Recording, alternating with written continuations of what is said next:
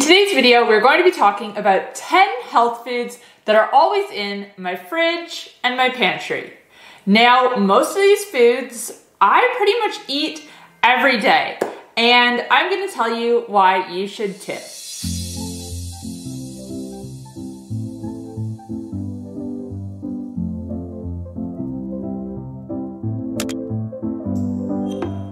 Hey guys, welcome back to my channel. If you're new here, my name's Kait. I'm a health coach and I post videos on a high fat, nutrient dense way of eating. If you like this video, please give it a thumbs up, feel free to share, and make sure to subscribe.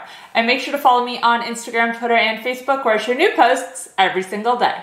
All right, so with me here today, I have 10 foods that are almost always in my fridge. And like I said at the beginning, I pretty much eat or drink one of these is a drink all of these every single day. Number one is eggs. Eggs are super nutritious. The yolks especially are what hold most of the nutrition and the whites are mainly protein, which is still good, still important. They are a complete protein source, meaning they have all the essential amino acids and they also have collagen. Now, you guys who are not new to my channel will know that all my meals are centered around protein. Protein is key. Protein is the most important macronutrient and most people are under consuming protein and don't even realize it. If you find yourself hungry in between meals, that probably means that you didn't have enough protein at your last meal. And eggs are a great way to boost your protein with any meal. Now, when it comes to other nutrients, eggs are one of the best sources of vitamin K2. Vitamin K2 is really important for the health of our bones. It helps our bodies to absorb calcium. They're also an excellent source of vitamin E. Two eggs gets you to almost 15% of the daily value. On top of that, they are rich in B vitamins, including biotin, and they also contain some vitamin A and some vitamin D. Next up, we have beef. Beef is probably the most nutritious meat you can eat. Well, uh, actually tied with lamb. Again, it is an amazing source of protein. Also, a really great source of bioavailable iron. For women, especially, it's really important that we get enough iron every day. A lot of young women, especially, are not getting enough and they're becoming anemic just because red meat has been demonized. Now, my personal experience with this, I was never anemic. I did have low iron at one point, and I used to have really heavy and really painful periods. When I started eating more red meat, when I got my iron up and also iodine, which we'll talk about in a little bit, my periods became so much lighter. I have next to no cramps, and I mostly attribute that to my red meat consumption, my increased iron intake, and my increased iodine intake. Compared to other types of meat, beef is one of the best sources of vitamin B12. It is also rich in zinc, niacin, phosphorus, selenium, CLA. Honestly, just so nutritious. And the best part about meat is it doesn't come with all the anti nutrients, which stop us from absorbing these nutrients. Currently, I pretty much get all of my meat from Butcher Crowd, who are the sponsors of today's video. I've been ordering from Butcher Crowd for a bit over a year now, and I cannot recommend their products and their services enough.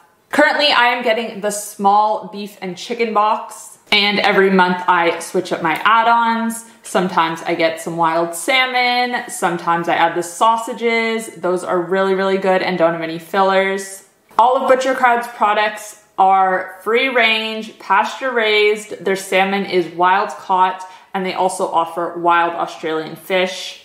Your delivery comes flash frozen. You just have to put it in your freezer. And what I do is I just take everything out the night before to let it defrost. My steaks, though, I usually leave frozen and cook them in my air fryer from frozen. Usually about 12 minutes on the highest setting. This cooks them perfectly. And it's so easy. Your kitchen doesn't get covered in all the splatter from um, your frying pan or whatnot. It sounds like a little bit of a cheap way to cook them, but I promise you it is so delicious. With Butcher Crowd, I can feel confident knowing that I'm getting the best quality meat from ethically raised animals. They offer free shipping Australia wide, and all of their packaging is certified carbon neutral and 100% recyclable. If you want to try out Butcher Crowd, head to healthcoachkait.com forward slash ButcherCrowd and use code KAIT15 to save 15% off your first order. Thank you again to Butcher Crowd for sponsoring this video. Next up, we have bone broth. Bone broth is a liquid that is made from simmering animal bones and especially meaty joints in water. This extracts the nutrients out of the bones and out of the connective tissues. And the broth you are left with is rich in amino acids, in vitamins, and other essential nutrients. It can be made using pretty much bones from any animal, but the most common ones are beef, chicken, and fish. You can drink it on its own or you can also use it in cooking. I love just putting a little bit in the bottom of my slow cooker and cooking something like beef brisket in it. Oh, so delicious. Now you can make it fresh and then just put it in jars and either freeze it or keep it in your fridge. When I don't have it made fresh, I use this bone broth concentrate, or they now call it bone broth body glue from Gevity Rx. And this is pretty much just like a gooey. And with this, you just take a teaspoon and you add it to boiling water and you get a bone broth. It is fantastic. So easy to use in cooking. Like I'll just add a teaspoon of this into pretty much anything like minced beef, ground beef. I'll just put that in when it's cooking and that just helps to enhance the nutritional value. Beef already, beef as we already talked about is super nutritious, but this just gives it a little bit more. It is also rich in electrolytes, which can sometimes be difficult to get on low carb diets, which I know a lot of people who watch me follow. Magnesium, especially, that can be a bit difficult to get just because our modern food is depleted in it, but bone broth is rich in it. It's also really good for your digestion. Some of the amino acids in it can help to heal your intestinal wall if it has become damaged. And bone broth is the best way to break a fast. Next up, we have avocados. These are definitely a low carb favorite. And besides being super delicious, they are also nutritious as well. They're one of the best fruits you can eat, in my opinion. And yes, avocados are a fruit. They're high in fat, they're low in sugar, they're high in potassium. They actually have more gram for gram than a banana does. And the added benefit of not coming with all that sugar Potassium is really important for heart health. And again, this is an electrolyte that can sometimes be difficult to get if you're eating a low carb diet. I know some people experience heart palpitations when they first switch to low carb, and this can be due to low potassium. So, adding some avocado in is a good way to increase that and to get the heart palpitations to go away. Keep your heart healthy. And then we have butter. And this is another food that I'm confidently gonna say that I have every single day. if you are watching this and you are in complete shock that I am referring to butter as a health food, please hear me out. Saturated fat has been wrongly demonized. The studies that have found a connection between high saturated fat intake and heart disease, for example, they're all based on correlations and not causations. And what I mean by that is these studies have looked at big groups of people and they've seen what they eat and what diseases they have. And people who tend to eat a lot of saturated fat also have a lot of heart disease. But the problem here is that these studies can't take into context all the other things these people are consuming. Usually they're consuming saturated fat in the form of fast food. They're consuming a burger with a white bun with a side of french fries that are fried in vegetable oil and then a Coke filled with sugar, and the saturated fat is getting the blame. So, there haven't been any studies that have been able to prove that saturated fat causes heart disease. And saturated fat is actually the best type of fat that we can consume. Especially when it comes to cooking, any fats that are solid or room temperature, they're more stable, they're less likely to go rancid, to oxidize, and then cause oxidative stress within the body. Anything that is liquid is a lot more fragile. You want to stay away from any vegetable oils and under the category of vegetable oils, that includes canola oil, sunflower oil, soybean oil, corn oil. These are all considered to be vegetable oils. Don't cook with them. Those are actually what is causing heart disease or part of the problem. Anyways, back to butter. Butter is rich in vitamin K2, just like egg yolks. It's also rich in CLA. Now, you guys who are not new to my channel, you will know that I'm a big fan of bulletproof coffees, which is a type of coffee where you add fat to it. So you put in some butter, some MCT oil. That's usually the basic recipe. I used to have these every single day. I've kind of been off them recently and just been having black coffee, but I'm sure I'll get back on the bandwagon soon. Basically, bulletproof coffee is a way to extend your fasting window. When you consume only fat, your insulin stays low, your blood sugar stays stable, and these are some of the benefits that come along with fasting. But by having this drink, it makes fasting a little bit easier. And I also love cooking eggs in butter. Scrambled eggs especially, so, so good. Next up, we have mushrooms. And a fun fact about mushrooms is they're not actually a vegetable. So what are they, you might be asking? They're actually considered to be a fungi. Mushrooms are rich in potassium, they're rich in selenium, and if they're grown outside, if you can find ones that are grown outside, they will also contain some vitamin D2. Mushrooms are also delicious fried in butter. Oh, so, so good. And then we have sauerkraut, which is fermented cabbage. Fermented foods such as sauerkraut include probiotics, which help to replenish good gut bacteria. Now, you guys will know that I had a jaw surgery uh, just over two months ago now. And after I had that surgery, I had to take antibiotics. Now, antibiotics, obviously, they're important in certain situations, but one downside to them is they completely wipe out your gut bacteria, both the good and the bad. So, especially after taking antibiotics, it's really important to consume a lot of probiotics. So, I've been eating a lot of sauerkraut, eating a lot of yogurt, and things like that. And then we have beef liver capsules.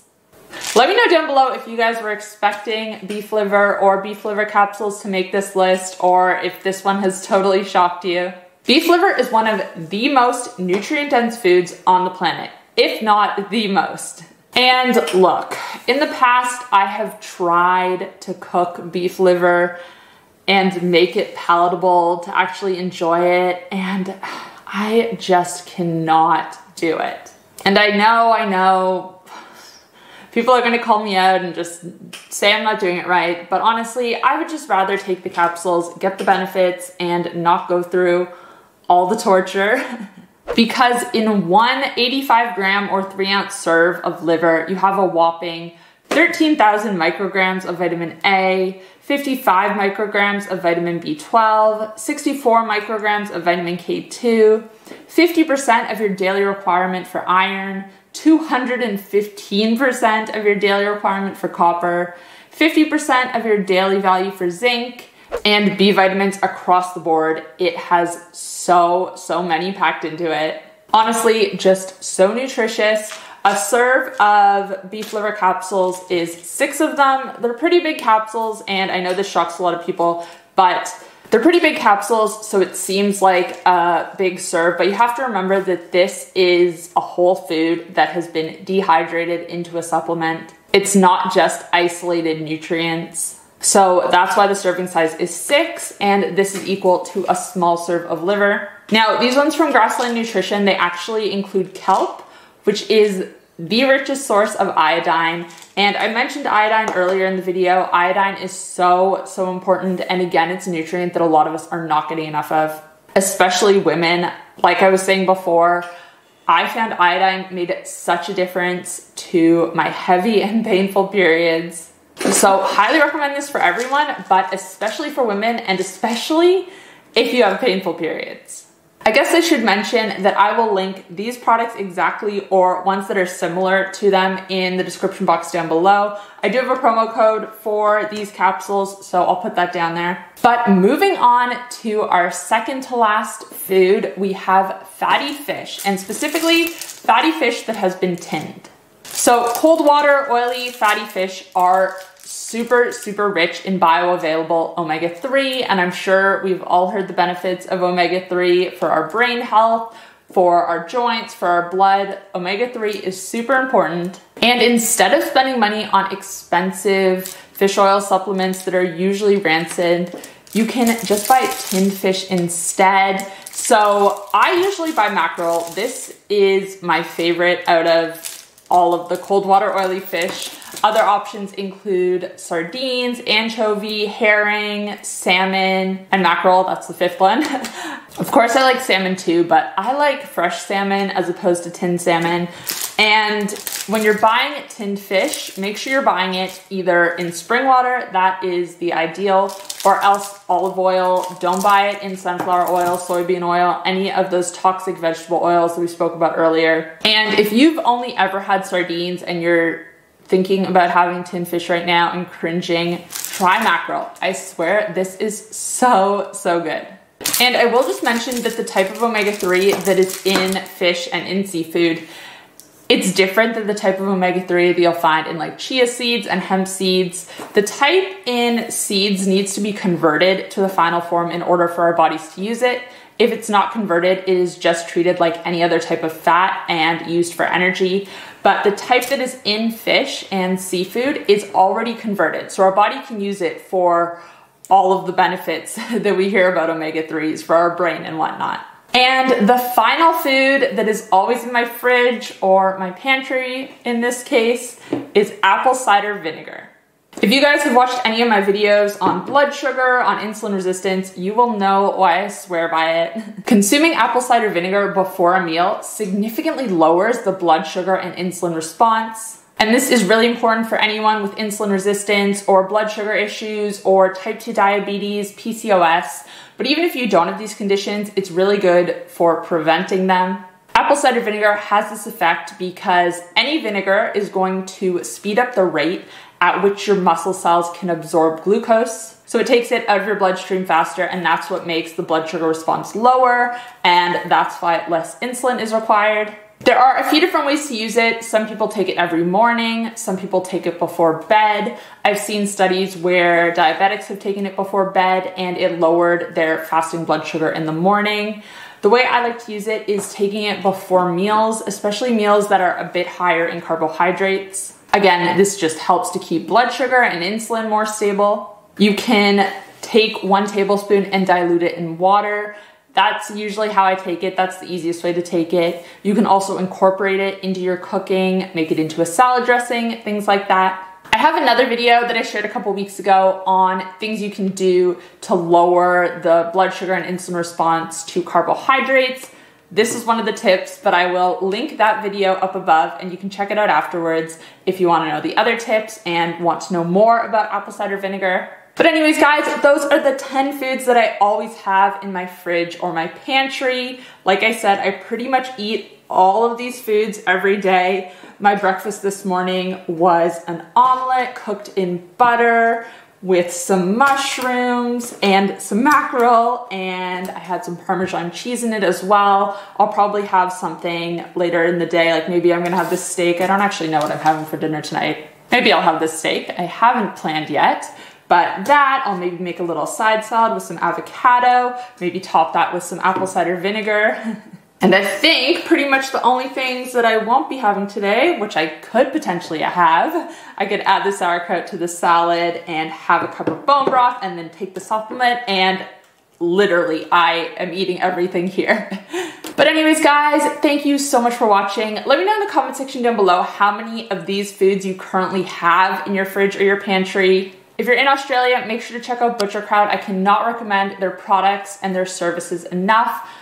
Their customer service, first off, is just absolutely amazing, which just makes me love them even more. I will put the link to check them out in the description box down below and don't forget to use code KAIT15. If you did enjoy this video, you might also enjoy my video where I give you an insulin resistance shopping list, which you can check out here. If you want to catch up on my most recent upload, you can find it here. And if you want to check out my keto diet and carnivore diet coaching programs, you can find them here. Thanks guys, I'll see you next time. Bye.